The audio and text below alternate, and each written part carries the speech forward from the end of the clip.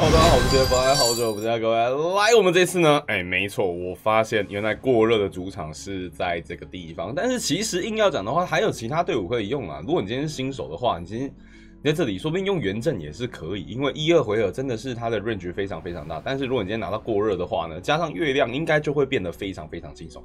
当然了，你的能力可能还是要有一些些的高，哎，看你是要用。不然的话，你用阴阳，我感觉也是可以的。但是如果你是用这一套的话，它的压力，呃，不能说是完全没有，因为你如果硬要讲的话，我就十二日月放在这里就好了。但是如果今天是新手的话，我就是没有那么高的月亮，没有那么高的太阳，或是说太阳本身的伤害就没那么高，那怎么办呢？哎，没错，就是过热，大力就完事了。那这玩法也是很简单啊，就是我们先把一个月亮点到高星，今天不管你要七星或六星都可以。哎，我觉得应该都够了。然后，如果你可以的话，点一个机，因为反正我已经有那个魔法分解器嘛。魔法分解器的话呢，你就把你的星数全部给它灌上去，灌个一组两组，哎，这样就够了。基本上前两回合绝对不会是问题。唯一要注意的事情，大概是第三跟第四回合啊。第三、第四回合可能用单纯的过热已经没办法，应该是说你用过热还是可以，但是你的月亮可能就要一定值了，不像之前说说，哎，我单纯的用阴阳就 OK 啊，或者直接直接挂就可以。一回合是可以，但是三四回合的话，感觉会有一点点难。好了，那我们这边就来给大家看一下我这边怎么合成吧。我们就主要的呢，去把一颗月亮，基本上我觉得是跟守护一样啊。对你只要把一颗月亮给它弄起来，然后在月亮旁边有过热也给它弄起来就好了。而且呢，过热跟守护不一样，你不一定要到高星才可以，只要旁边有就好了。哎，对，守护的话要高星才能七星十五层嘛，对不对？但是过热呢不需要，只要旁边的颗数够多，它的伤害都是打一样的。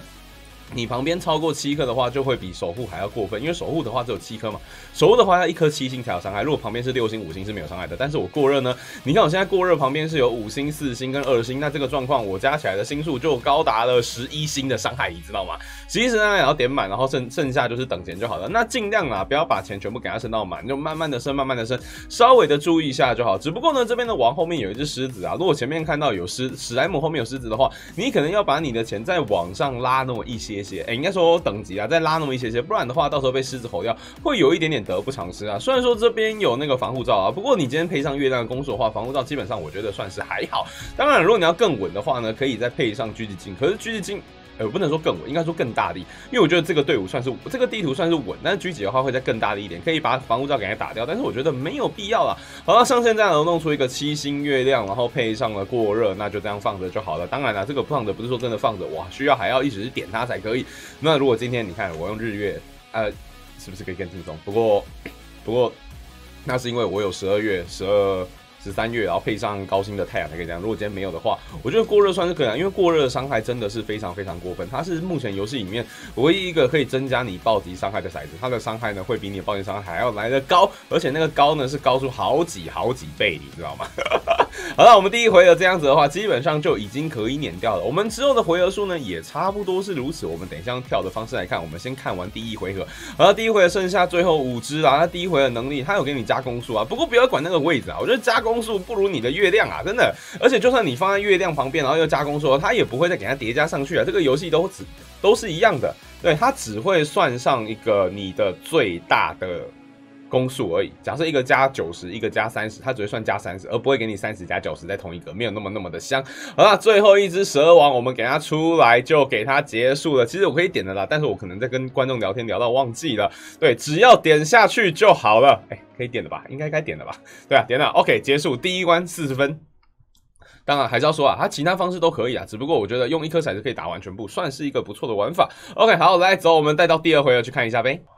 好，那接下来是第二回合这个部分，我就用加速的方式给大家看一下前面，因为毕竟玩法是一模一样的，对面的压力，呃，不是应该说王的强化敌军也没有任何的差别啦，只是增加了小兵出来的次数，对不对？就是小王出来的次数啊，对吧？只要注意你的过热等级就好了。看到王出来的话，就要记得把它压回去。那这边唯一要注意的呢，一样是史莱姆后面的王啊。如果史莱姆后面王是魔术师的话，或是 I 王的话，你可能就要稍微注意一点了，因为呢，我就不小心死在这里。可以看到，我们到最后之后呢，哎，他前面两只史莱姆一直挨网，就挨网就挨到两颗七星的过热，对，这个几率应该是衰到一个烂掉了，所以这边我就没有给他重拍了，干真的是衰死，你知道吗？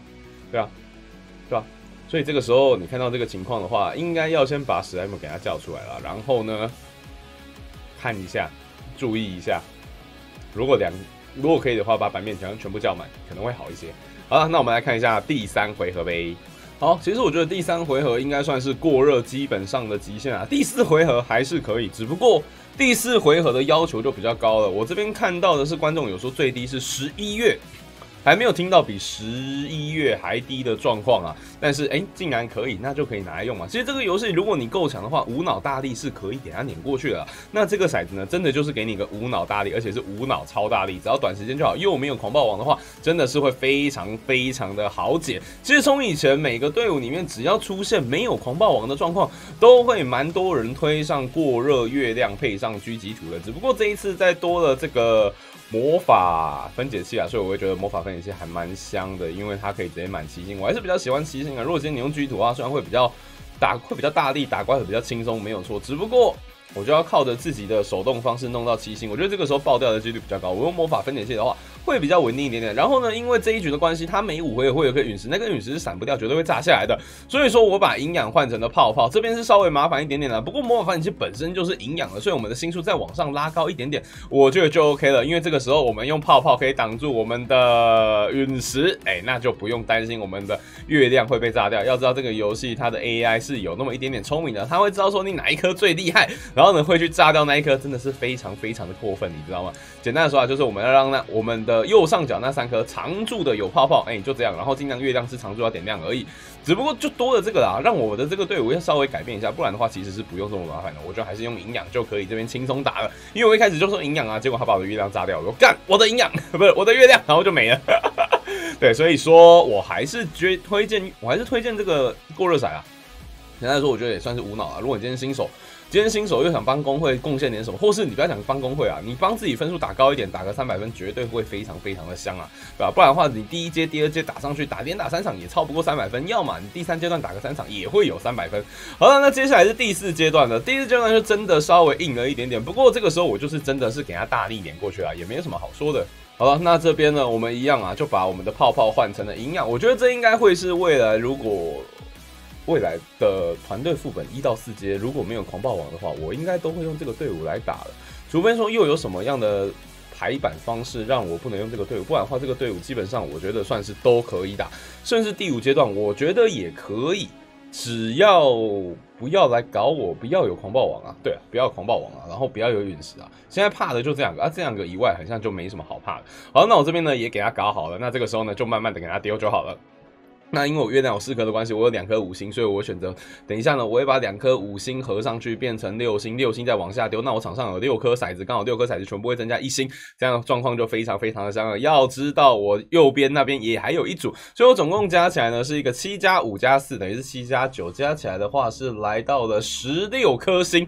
哇，十六颗星这个伤害也是非常非常恶心啊！只不过因为是第四回的关系啊，所以。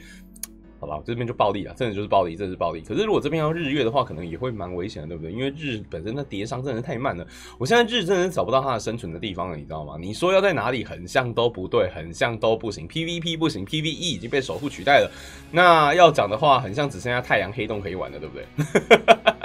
不然的话还可以玩什么？你知道吗？我已经不知道，我真的不知道太阳还能玩什么了。好了，我觉得下一波改版的不是太阳就是枪了啦。根据之前的动画而言，好了，现在第四阶段剩下最后的六只啊，那我们这边也是给他轻松的连过。那我们这边最后最后呢是来到了三组，只不过没有到七星七星啊，不过也无所谓了。那可以看到我的钱还有十几多十几万，然后我升满也只要一万多块而已。那这这个时候基本上我就直接开到底就好了，你知道吗？